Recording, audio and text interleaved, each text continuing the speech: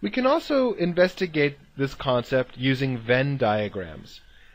Let the green area represent the full event space. Okay, so this, this green area contains all of the possible outcomes of an experiment.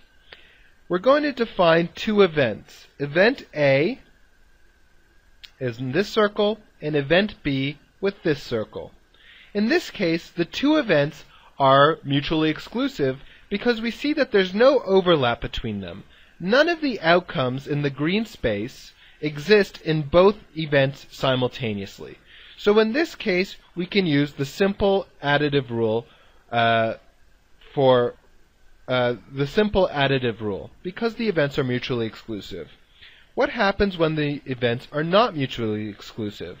In this case, we've got event A and event B, but some of the outcomes occur in both events simultaneously.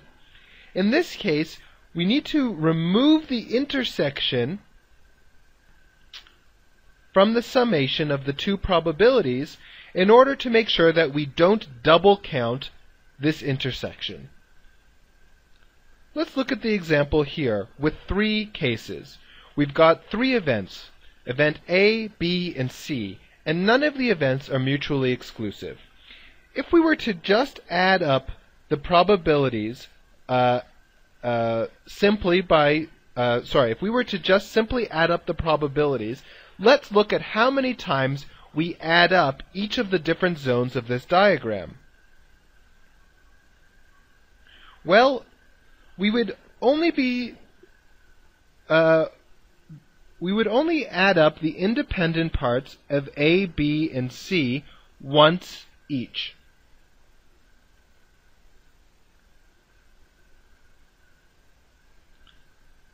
So these three parts we would only add up once. The intersections, the bivariate intersections, or the two-way intersections, we would actually be adding up twice. So this area, and let me use a different color. This area in here, we would be counting twice. This area over here, we would be counting twice. In this area over here, we would be counting twice. Now, because the three the three events actually intersect and include that central area, what have I done here?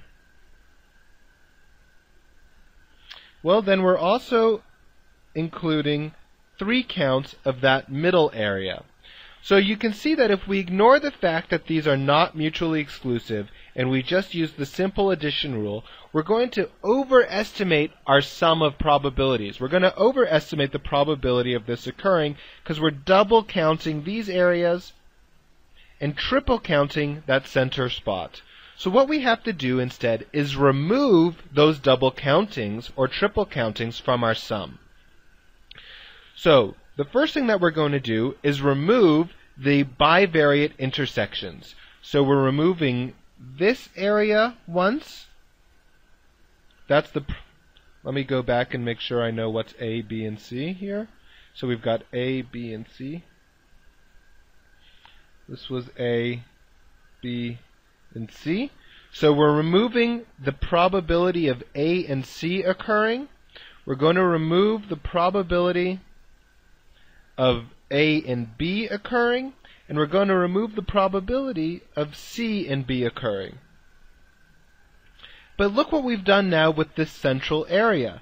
We've we were originally triple counting it if we had just included if we had just done that in the sum. But by removing the three intersections, we've actually dropped now this little area in the middle. So what we need to do next is add it back in. That little area that we're adding back in is the probability of A and B and C occurring all at the same time.